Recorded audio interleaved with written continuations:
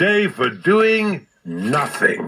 Daddy Pig loves doing nothing. Oh, Daddy, aren't you going to work today? No, Peppa. It's Saturday. Daddy Pig doesn't work on Saturdays. Daddy Pig, you'll be late for work. But it's Saturday, Mummy Pig, isn't it?